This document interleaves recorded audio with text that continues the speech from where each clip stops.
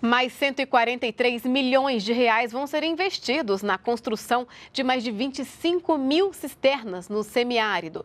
Dois novos convênios foram assinados para garantir o acesso à água em 56 municípios dos estados da Bahia e Minas Gerais. A iniciativa quer assegurar o abastecimento por no mínimo oito meses para as famílias que sofrem com a seca.